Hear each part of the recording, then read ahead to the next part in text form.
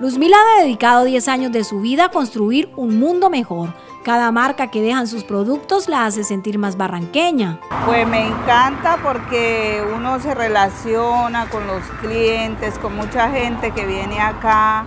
Aparte de eso, pues me encanta hacer mis artesanías, ¿sí? Y que se lleve todo el mundo ese, miran el producto y se les da esa alegría de, de llevarse en el producto mío. Entonces eso es lo que más me ha motivado a hacer y hacer y hacer. Entre la pintura, la paciencia y el apoyo de los barranqueños, esta mujer artesana no ha dejado de trabajar para mejorar las condiciones de su hábitat laboral.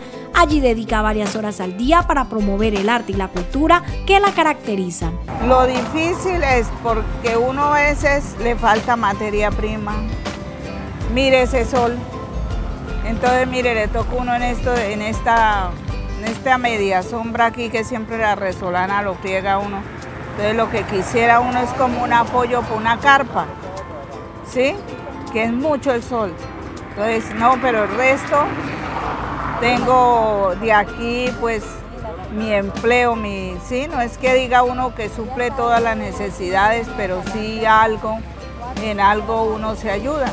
Su vida transcurre entre el porcelanicrón, los detalles de cada diseño, el agradecimiento a cada comprador que valora su tiempo y arte.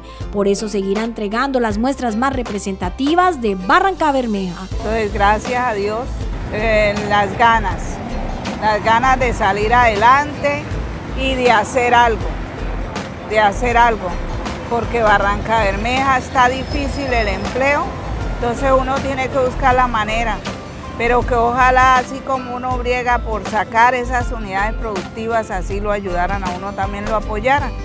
Entonces esa es nuestra necesidad. A un costado del Cristo petrolero, Luz Mila sueña con más oportunidades para aquellos que enaltecen con sus manos a la bella hija del sol.